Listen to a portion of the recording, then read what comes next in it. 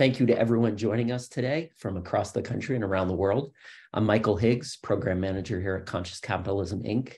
On behalf of the CCI team, we appreciate you taking time to learn and grow in community with us. Today, we're excited to be sharing space with Dr. Marvin Carr, Director of the Walmart.org Center for Racial Equity, and Maha Jweied, co CEO of Responsible Business Initiative for Justice. Conscious capitalists are always looking for fresh new ways to elevate humanity, change lives, and positively impact their communities through business. At risk youth and those previously incarcerated are segments of the population that have potential to thrive in the workplace and society if given the chance and the right tools. The Responsible Business Initiative for Justice recently launched Unlock Potential, an innovative hiring program funded by Walmart that aims to provide meaningful career opportunities to at risk youth, teaching them new skills and helping them stay focused on a path for success.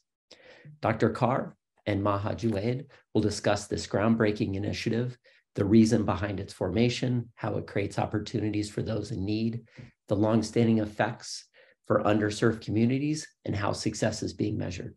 This conversation will offer insight and inspiration for anyone looking to expand their conscious hiring practices, support a diverse workforce, and make a far reaching impact. As many of you know, conscious capitalism is a philosophy that emphasizes the human nature of business, as well as a movement of business leaders from around the world working to change the practice and purpose of capitalism as a means to elevate humanity. Conscious Capitalism Inc. is a nonprofit organization dedicated to catalyzing that movement by creating learning opportunities like today's session and building systems of support for practicing conscious capitalists through our senior leader network, membership and engagement with local chapters. Several times a month, CCI offers virtual gatherings like this as a way for the community to see how this philosophy takes shape in the leadership journeys and business practices of those in our network. Um, today's gathering will run for about 45 minutes. Dr. Marvin Carr and Maha Jweied will be in a fireside conversation for about 20 to 30 minutes, and then we'll transition to audience questions during the last 10 to 15 minutes of our session. Please do use the Q&A box at the bottom of the screen um, so we can get to as many of your questions as our time together permits. If you have any technical questions or issues, please email us at info at consciouscapitalism.org. And now I'm excited to introduce you to Dr. Marvin Carr and Maha Jweied. Dr. Marvin Carr is director of Walmart.org Center for Racial Equity and supports the team as a subject matter expert in STEM education, workforce development, public policy, and racial and social equity.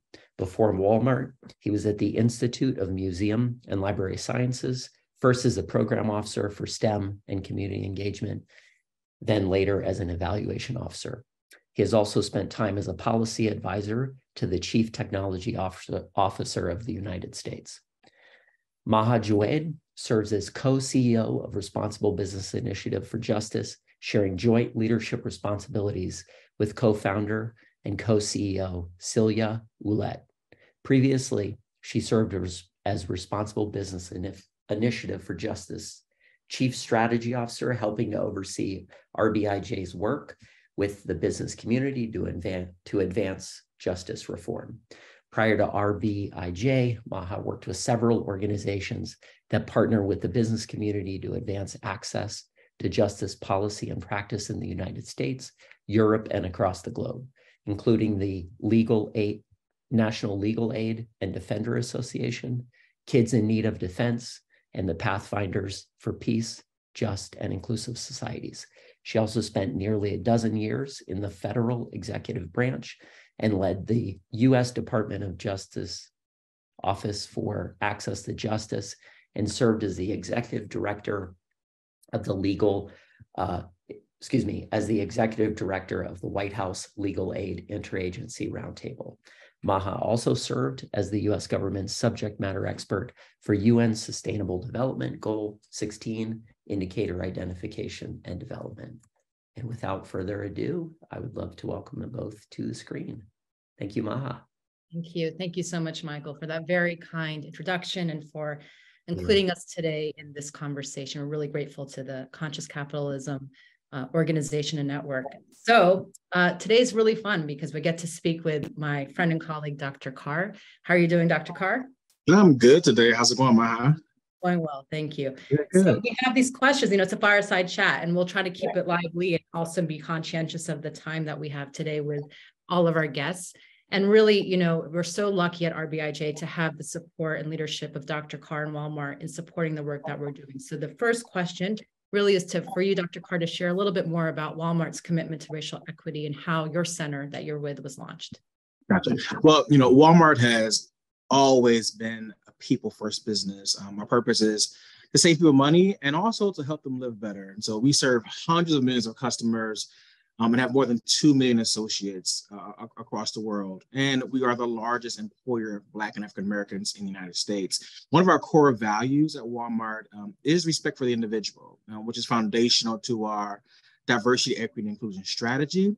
Um, and so, uh, what that led to is following the murder of George Floyd, um, the company um, and all of us, we had to stop and think about like, what else could we do um, in the face of this strategy? And so we wanted to go beyond our own operations um, and use our size and our scale and our influence um, to really think about what, how might we um, use Walmart to, to drive systemic change when it comes to these social issues we, we, were, we, were, we were facing. And so uh, we believe that business is imperative to our racial equity strategy. And so in June 2020, Walmart and the Walmart Foundation committed to uh, investing $100 million over five years to create this new Center for Racial Equity. Um, we're supporting the philanthropic initiatives in four key areas, the nation's financial, healthcare, education, criminal justice systems. Um, and these are systems we think that Walmart, with both our business and our philanthropy, can influence at the national or the local um, landscape um, through our shared value approach. Um, particularly in my work, which is in the criminal justice pillar, um, we've really focused on collaborating with community-based organizations like um, uh, community-based organizations and national organizations like RBIJ, uh, who are who are who can work with the young people at the highest risk of criminal justice involvement. Um, for example, earlier this year, we invested $1.25 million into a new grant um, to the Prison Fellowship, which is the world's um, oldest and largest prison ministry to really help them think about how to use a two generational approach to deflect young people um, towards opportunities and towards prison. So um, Unlock Potential is very similar um, in that vein. Yeah. It's really remarkable, uh, Dr. Carr, that in this short time, you've really, I think, cemented yourself and your center as being a real um, force in the philanthropic community to advance racial equity. And the size of your grants, like you just described, I think is a game changer as well for nonprofits working really hard to advance this work. And so you mentioned unlock potential. I know that's why a lot of our participants are here today. They want to learn more about that. And I feel really lucky. I, I you know, of course, but the rest of the the folks listening in may not know as well that I'm new, I'm newly in this role. But I've known about Unlock Potential since when it launched and was mm-hmm. very happily at a summit last spring that RBIJ hosted, where it was announced with, with my uh, partner, Celia, and yourself. And so, really, I've been so impressed. We are also grateful for the support and the collaboration, but personally, I've been very impressed with the approach. And it very much feels like this has grown out of an idea that you had to take the poverty to prison, to tackle the poverty to prison pipeline. And in collaboration, of course, not only with RBIJ, but our colleagues Persevere, who helps to organize the community based organizations that we're working with. We've all been um, working together as partners in this effort. So, if you could please tell the audience a bit more about um, uh, unlock potential, but also why it, why it's important to you in terms of supporting this this project.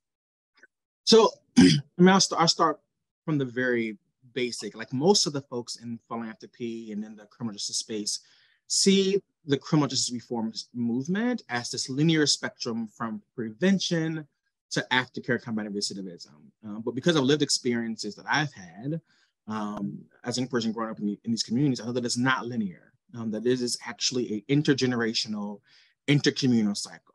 And what we know is that the vast majority of investments in this space focus primarily on decarceration um, and on combating recidivism. And so um, using the power and the influence of our business, um, and particularly us being the largest employer of Blacks and African Americans in the country, we thought, how might we actually influence philanthropy, influence the larger corporate space um, by um, laser focusing investments in young people, especially young people that we know are at the most are the most likely to go to, um, to, to end up in the justice system. And so our larger prevention, criminal justice prevention efforts are really grounded in if you provide folks opportunity with economic mobility, um, that uh, and you over invest in young people, particularly those who we know are the most likely to, to go to prison, not only do you unlock the, their potential to reach their full potential, you unlock the potential of business and society um, to, to, to, to, not only to, to, to nurture and benefit from the access that these thousands and thousands of young people will have to opportunity. It's great. It's really it's it's really wonderful. And I also would love to, to just ask a little bit more about how this is a priority for Walmart.org and the broader strategy that you just shared a moment ago around racial equity. You you hit a bit there actually. So I want to also respect that you've, you've shared a bit about that, but if there's more, if there's more to come. Yeah. Well, I mean, so although Walmart is the primary funder um, for this project, um, there are several other large um, national organizations that are involved. Delta Airlines, Ben and Jerry's, um, uh, you know, Virgin Hotel Group, and you know, it's it, it is as important for us to invest um, uh, in our employees as is in our in our community. Some folks might ask, why is Walmart worried about criminal justice reform, right? why is Walmart worried about this group? I mean, in the communities where our customers feel safe walking from their homes to their neighborhood market, when they feel safe and secure walking from their parking lot into this into a Sam's Club, and then in community communities where Walmart and Sam's Club have access to the full spectrum of talent, Walmart will reach its full potential, and so will the communities and those and, and those groups. So it's very important for us beyond just a good thing to do. Um, and beyond just doing well in communities, it makes perfect sense to overinvest in these groups, both as a community intervention and as a business imperative um, to really gain access to a talent pool. A lot of folks talk about at-risk youth, and I, I avoid the language, the deficit language, and that's why unlock potential is such an important. Even the wording of it is so important because you can talk about young people who've been in juvenile justice um, involved or young people who are survivors of trafficking in the deficit at-risk youth group, I mean, um, uh, terminology, but letting them know, letting the communities know, letting companies know that they have this potential and all they need is an opportunity, their first chance. Um, and that can change their life, but also that can really change the trajectory of communities and your and your company. It's wonderful. Yeah, I mean, I, I, do think reflecting on the businesses that we've been engaging with in this work, what you've reflected is very much similar to what they've shared. Um, I know that you've been talking to the businesses, and I also can reflect a little bit more about what they've told us, but would love to get your sense first. And then I'm happy to chip in as well about why you think the employers we've gotten are so eager to participate. You know, I'll, I'll of course, I'll start with why.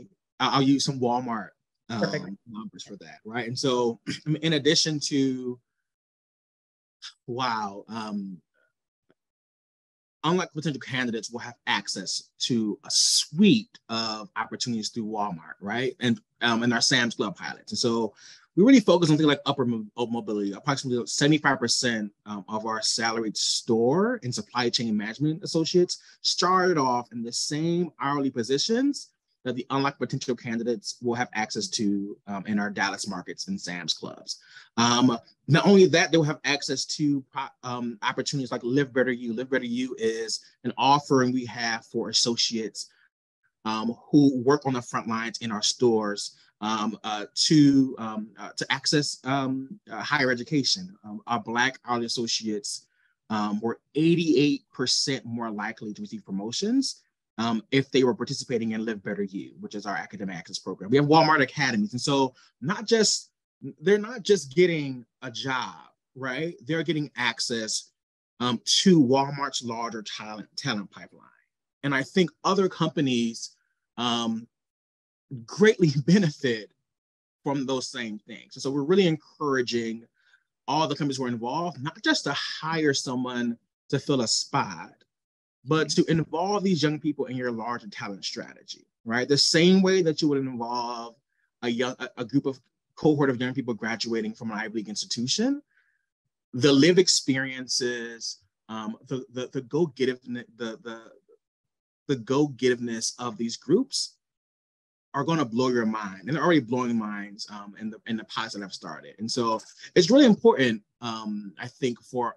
colleagues not just in retail right because these we, these aren't just retail jobs you have delta airlines you have jiffy lube There's, it, it runs the gambit of, um, of opportunities here Absolutely. And yeah, definitely. I mean, I love hearing from from the Walmart perspective with Sam's Club in particular, but also what you've shared, we've heard from our other businesses engaging exactly as you said, that a lot of folks, and I think a lot of the people listening in today, we all started somewhere and some and some folks who have been in their business have been there from the ground floor and were able to then progress over time and have that real mobility.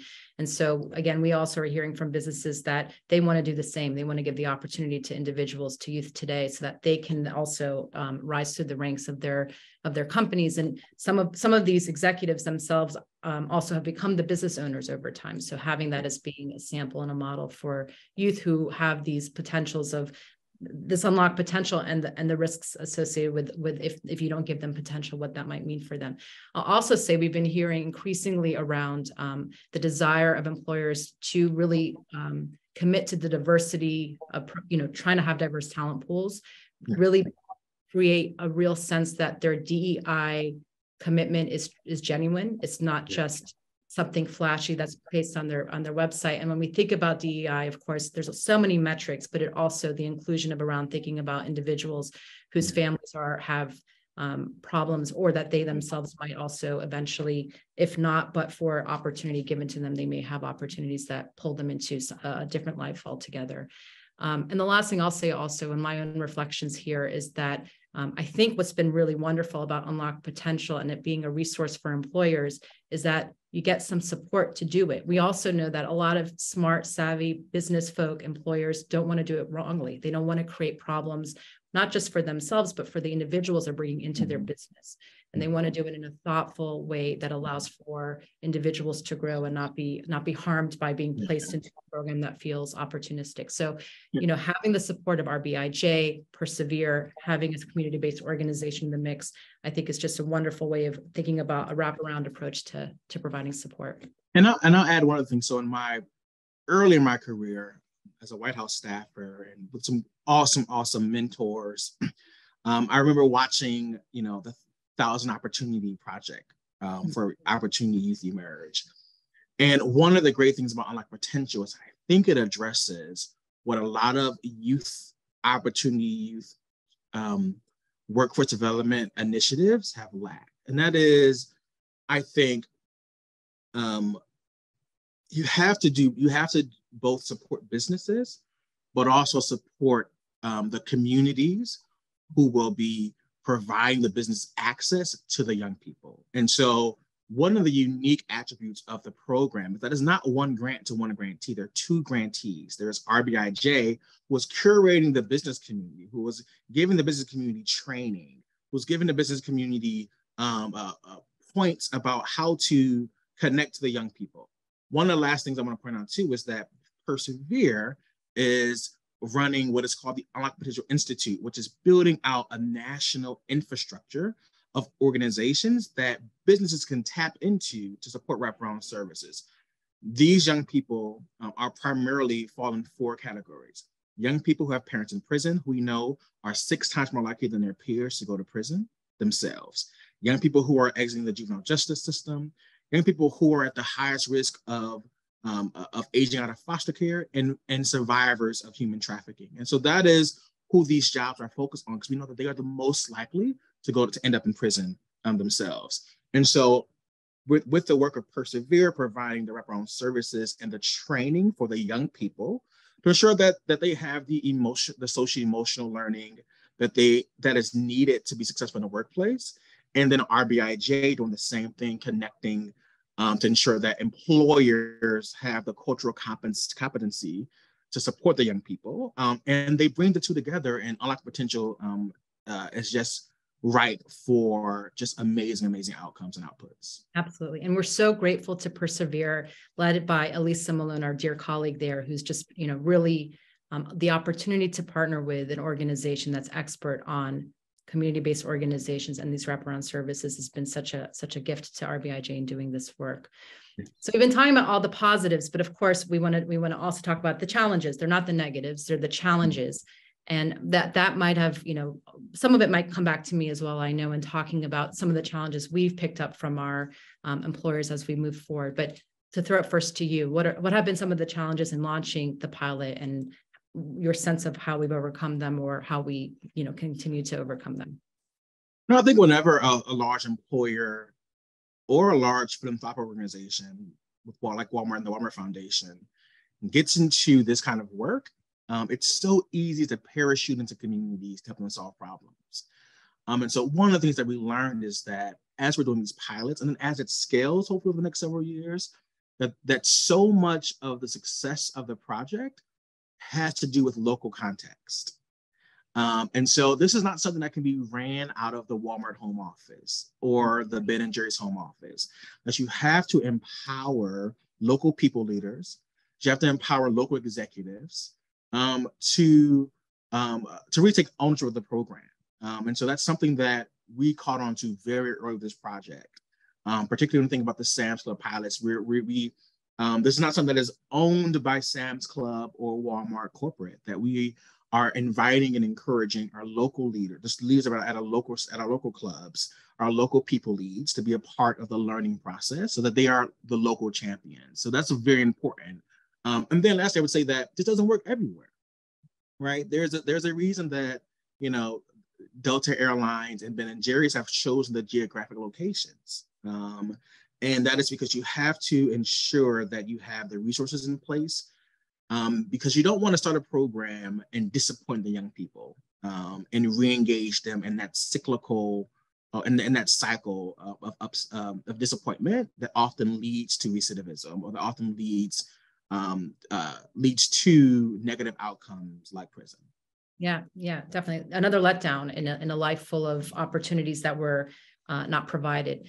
Yeah, I mean, I'll, I'll, very much reflect the same things that you said that it's not a one size fits all, this approach. Yeah. The idea that an employer is choosing to become a more inclusive employer by um, creating opportunities for, for young people um, means that each employer has to do it in a way that's natural and right for them. And then the benefit, of course, of the program is that then you have the resource of RBIJ and, and our colleagues at Persevere to make sure that as you develop your program, you have the support you need.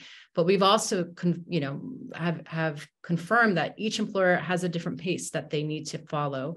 We, of course, are trying to run a pilot program and have metrics and markers and that we want to hit milestones. But we, at the end of the day, there is unexpected realities, both economic uncertainty in the country that actually obviously impacts businesses and what they can and can't do. And so, what we've really learned and the challenge that we and the way we've overcome it is to be flexible.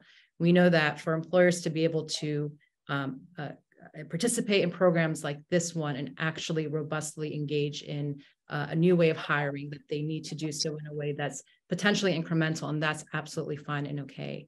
Um, I will say though that, and I know you know this very well, but for for the for our audience, when the program was launched, we thought we would start with five five businesses so that mm-hmm. we could do it well, do it correctly. But we've really we're at eight. We've had far more interest that's allowing us to consider uh, future years worth of work so that we can help other businesses develop similar programming.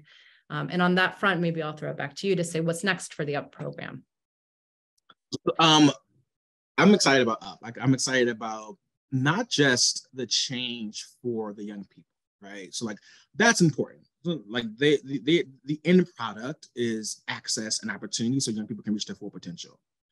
What I'm most excited about is how this project might shift narratives and mindsets among executives and people leads and HR folks in our companies um, to think about this group of young people as worthy of an investment, um, to think about this group of young people as future leaders of their companies, uh, future CEOs, um, and and to really make this as much as as much about racial equity and opportunity creation as it is as much as it is about um, uh, giving your organization up an upper hand when it comes to talent, right? And so it's so easy. I've been involved in um, kind of um, equity, gender, racial, environmental equity focused work for quite a long time. This is my um, first time in the in the corporate space, and the, the the the most important thing that I've learned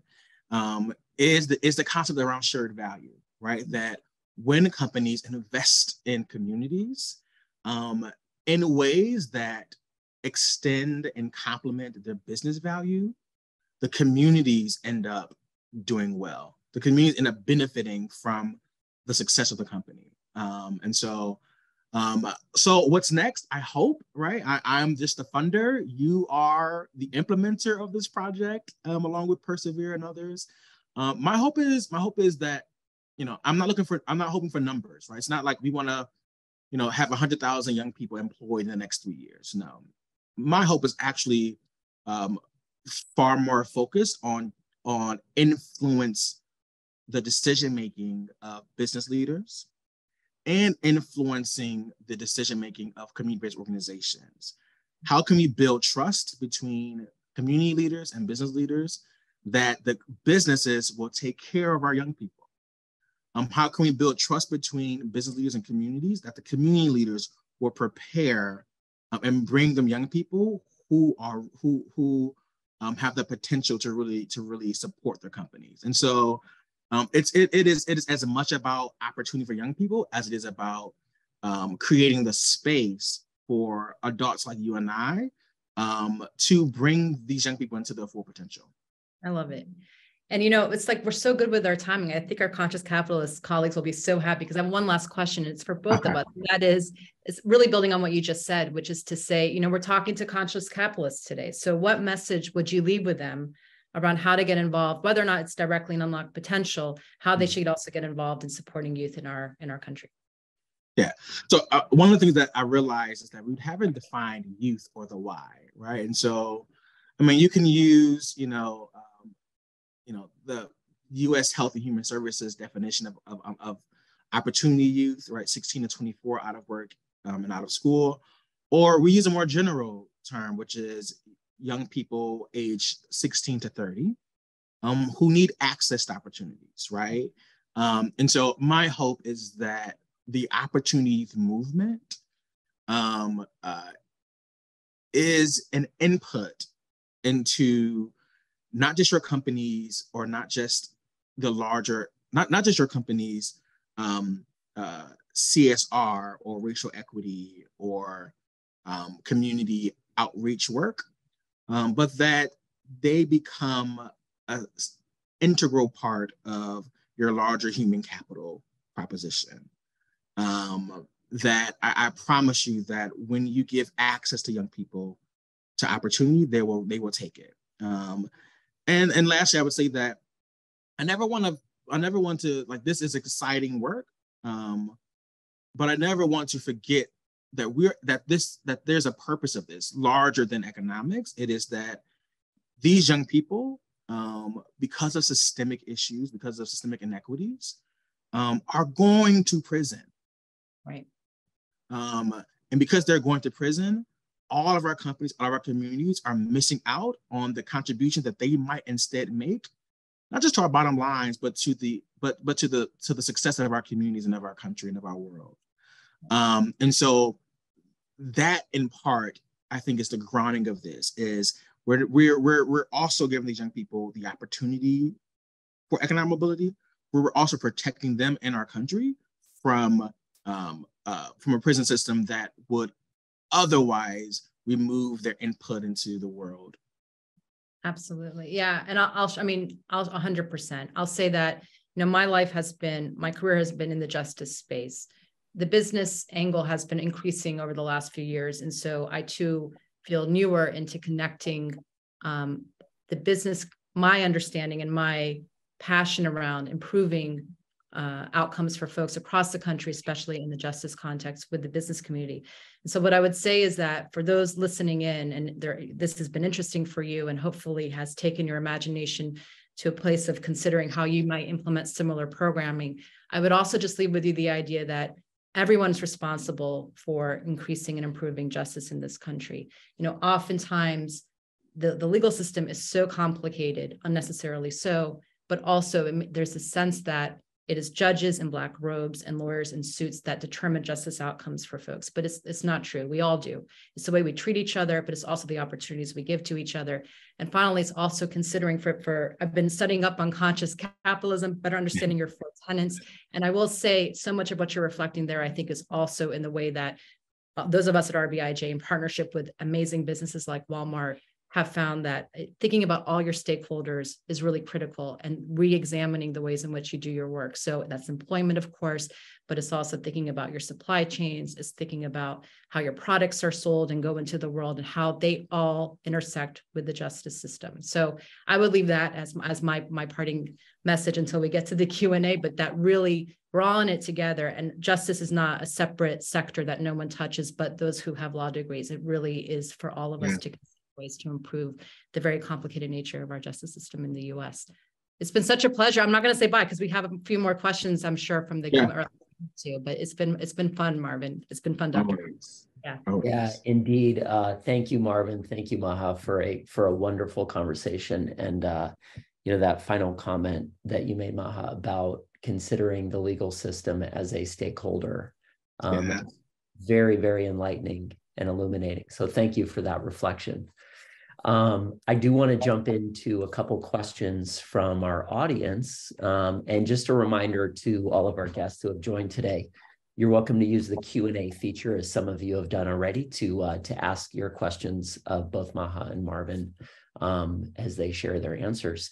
Uh, the first one um, is from one of our guests, uh, Callie, and she asked, she says, what barriers are you seeing with businesses integrating fair chance hiring um, and what helps them make that shift to engage.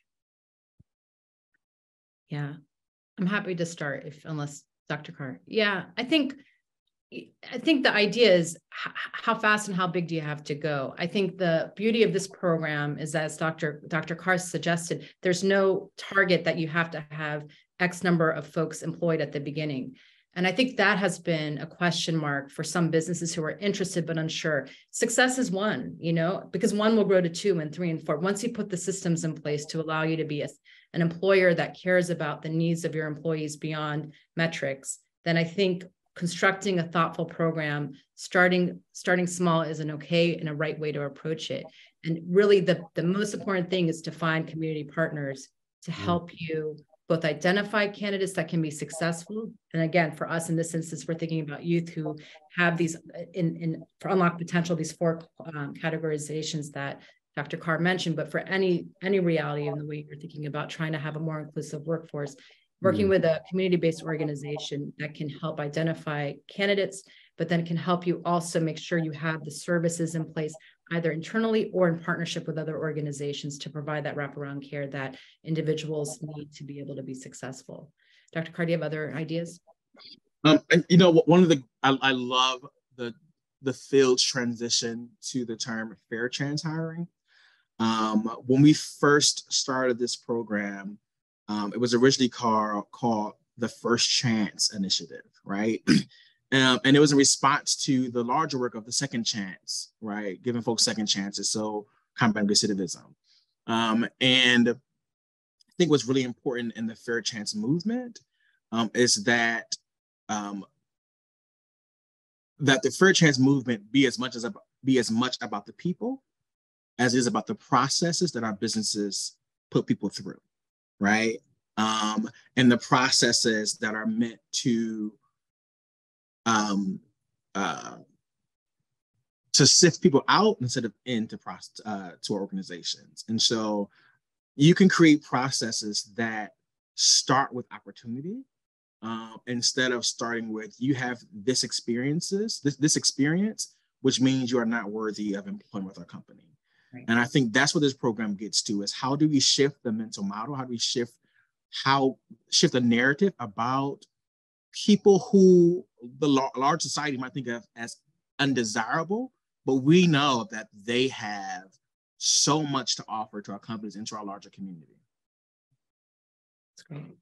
Wonderful. Thank you. Um, I have another question here. Um, you know, for for smaller companies that may not have the resources to uh, participate um, in a program like the one that you've developed, um, you know, businesses that may have revenue, say between 1 million and 5 million or, or small teams of five to 20 people. Um, how, how, how might they engage or adopt? Um, and then an add-on question is, it sounds like you're you know in the future you're sort of creating an opportunity for smaller companies to benefit from um, all of the the resource building that you're doing as part of your program um, how how can smaller businesses connect with um, people that you know may be looking to you know uh, change jobs or change careers and and and there's opportunities in small business um, for people that have gone through your program it's great. Go I'll, ahead, I'll start. So, so, I think one of the, the, the important thing is that what we're funding is creating the infrastructure for those businesses to tap into, right? Um, so that infrastructure includes the awesome um, content that RBIJ is creating for companies. Um, Greyston Bakery, I think about the smaller companies um, that um, have signed on to uh, like potential. Um, I think about the Colum- the Columbus, Ohio cohort of, of, of healthcare focused organizations that aren't the big Walmart or the big Deltas or the big, you know, uh, Virgin uh, groups. And so what we what we have is eight very different types of companies, different sizes, right? Different industries, um, different approaches to talent. Um, and what will come out of this, hopefully at the end of the two years, is a suite of um, publications and a suite of material that all types of companies will be able to use to inform how they might interact with the community to, to access this talent. At the same time, Persevere and the, and the Entrepreneurial Institute is creating its own series of playbooks mm. um, that companies that, sorry, that nonprofits on the ground can use to build their own both um, um, uh, both their own hiring programs, but also to inform how they um, uh, attract and, and, attract talent to, to support the companies. And so this is more than just giving kids jobs. This is how do we create products that companies and nonprofits can use to build their own their own relationships. Walmart you know, won't be won't fund this for 10 years. Walmart won't fund this for X amount of years. And so the hope is that the environment um, and the infrastructure is in place that companies naturally know that they can go to the Unlock Potential Institute or to local organizations that have, been, that have, that have been through the training to access the young people and the and the wraparound wraparound supports. Yeah. Did I miss anything? No, 100% agree. And I'm so glad you mentioned Greyston because we know that Joe Kenner is on the board of CCI, so we would be very remiss not to mention that Greyston is a participant, not surprising, I think, for the, the conscious capitalist community here, but that really um, we are endeavoring to make the resources available more broadly. You know, the the thanks to the generosity of Walmart, this participation in this program is free to the businesses. So we're we don't have a pay to play model in terms of supporting. We just have a capacity issue that at some point we just simply don't have enough staff to be able to support all the businesses. But what we're hoping to do, and this is the pilot year one, future years, is fine tune the approach so that we really can be helpful beyond doing the one on one with businesses. Because we also know, and this is really goes back to um, a bit of who and how RBIJ operates. There's a piece of this too where businesses peer to peer can be more supportive even than nonprofits engaging businesses. You know, again, RBIJ being a nonprofit, so that if we can change the environment and the climate around thinking about inclusive hiring and have businesses go through these processes in an effective way, they can be the best messenger to supporting other businesses to doing doing similar things. Wonderful. Um, yeah, and uh, we would be remiss without mentioning Joe Kenner. In fact, uh, someone uh, brought Greyston up in the Q and A. So, um, wow. wonder, yeah, wonderful work that that Joe's doing um, with open hiring uh, at Greyston. Um, we have a question here, um, uh, touching back on on on sort of the business side. Uh, the question is, what are the business shareholder value arguments that you found successful? Uh, with hesitant or resistant companies.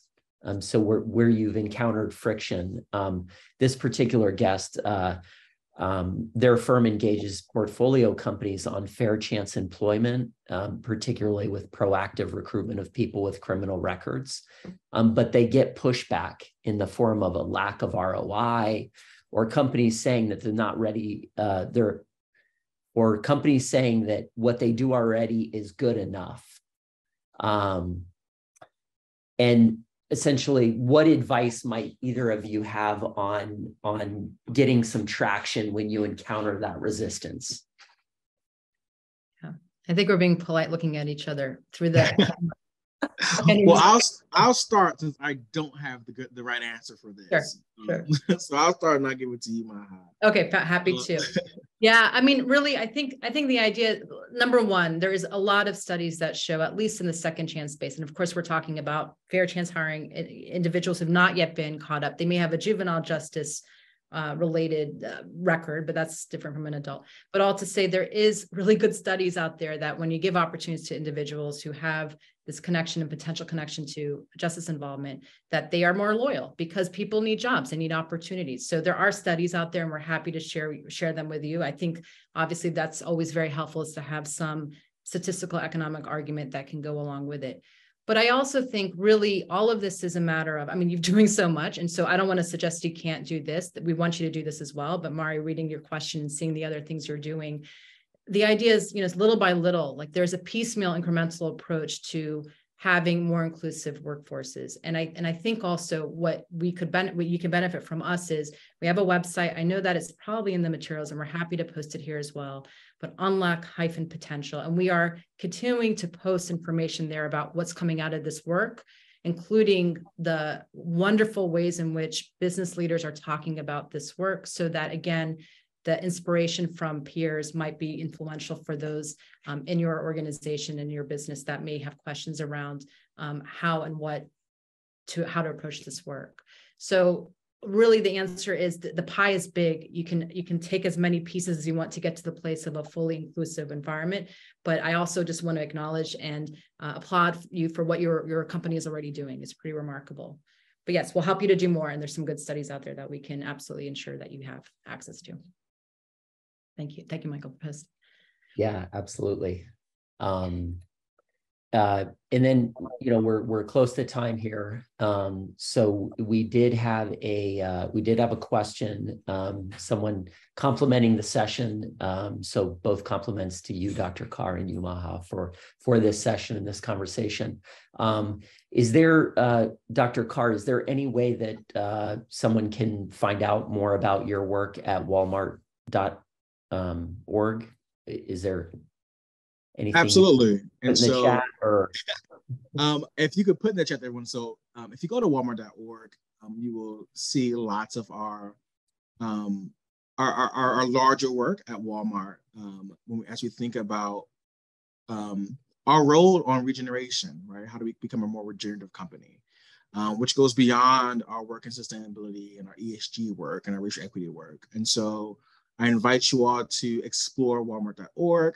Um, I think we're going to be having um, a new blog post coming in a few weeks about um, uh, one of the, uh, uh, uh, we've reached a milestone in our giving. And so you, you should be able to see that in a couple of weeks coming out. Um, but yes, there are lots of resources and information that you can find on walmart.org. Wonderful. Um, well, I want to thank you both so much for joining us today. Um, you know, again, appreciations for for this conversation. Um, it's been insightful, informative, and and actionable for for our attendees. Um, and to our attendees, thank you for spending your your morning or your your afternoon with us. Um, if you do have 30 seconds, um, I do have a short survey which I will put into the chat for everyone. Um, it does help us with future programming. Um, if you're new to conscious capitalism, uh, please visit our website, consciouscapitalism.org, for more information about our movement and our organization.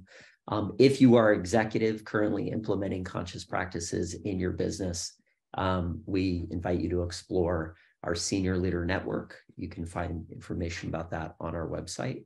Um, and we also have some more virtual gatherings happening in the uh, month of April. So check out the events page on our website.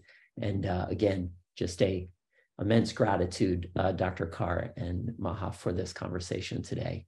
Um, and if anyone is wondering, we will be sending out a recording of the session uh, with some additional uh, materials, uh, ways to connect with um, both Maha, uh, Maha's organization, as well as uh, Walmart.org. So thank you both again for for your time today.